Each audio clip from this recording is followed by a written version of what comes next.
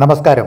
പാകിസ്ഥാന്റെയും U എസിന്റെയും കാലാൾപ്പട വടക്ക് കിഴക്കൻ പാകിസ്ഥാനിൽ രണ്ടാഴ്ചത്തെ ഭീകരവിരുദ്ധ സംയുക്ത സൈനികാഭ്യാസം ആരംഭിച്ചതായി സൈന്യം ബുധനാഴ്ച അറിയിച്ചു. പാകിസ്ഥാൻ യു എസ് കാലാൾപ്പട കമ്പനികളുടെ പങ്കാളിത്തത്തോടെ പഞ്ചാബ് പ്രവിശ്യയിലെ ഖരിയാൻ ജില്ലയിലെ പാബി ഏരിയയിലെ ദേശീയ ഭീകരവിരുദ്ധ കേന്ദ്രത്തിൽ ശനിയാഴ്ചയാണ് രണ്ടാഴ്ചത്തെ അഭ്യാസം ആരംഭിച്ചതെന്ന് പാകിസ്ഥാൻ ആർമിയുടെ മീഡിയ വിഭാഗമായ ഇന്റർ സർവീസസ് പബ്ലിക് റിലേഷൻസിന്റെ പ്രസ്താവനയിൽ പറയുന്നു. Pakistan U S infantry rifle company അഭ്യാസമായ exchange രണ്ടായിരത്തി ഇരുപത്തിനാല് ഭീകരവാദ വിരുദ്ധ ഡൊമൈനിലെ ഒരു ഉഭയകക്ഷി സംയുക്ത അഭ്യാസമാണ്. സബ് യൂണിറ്റ് തലത്തിൽ ഭീകരവാദ ഭീഷണിയെ നേരിടുന്നതിനുള്ള തന്ത്രപരമായ കഴിവുകൾ കൈമാറുന്നതായും പ്രസ്താവനയിൽ പറയുന്നു.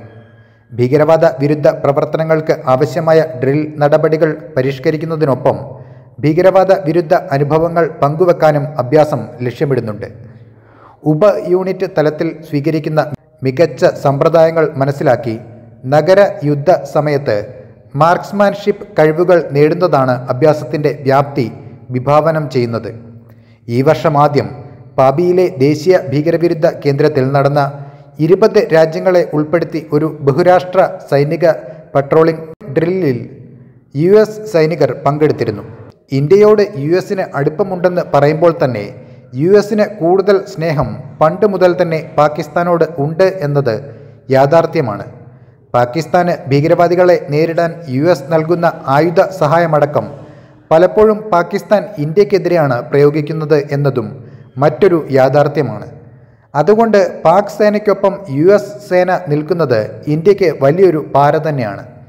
ഏറ്റവും രസകരം ഭീകരവാദികളെ വളർത്തിയ പാകിസ്ഥാൻ ഇപ്പോൾ എങ്ങനെയെങ്കിലും പാകിസ്ഥാനിൽ ആക്രമണം നടത്തുന്ന ഭീകരവാദികളെ അടിച്ചമർത്താനുള്ള ശ്രമം നടത്തുന്നു എന്നതാണ്.